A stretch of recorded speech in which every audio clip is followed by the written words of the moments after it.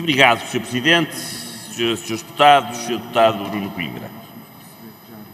PSD é mesmo partido que não tem moral para poder exigir o que quer que seja, porque, porque sistematicamente está contra todas as medidas que vão ao encontro dos princípios que Vossas Excelências defendem.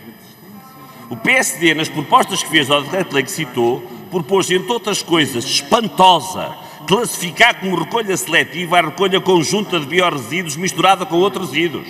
Isto é proposto por Vossas Excelências. O PSD voltou a apresentar a proposta em que se deve devolver aos municípios a TGR que lhes é atribuída por falta de apresentação de candidaturas.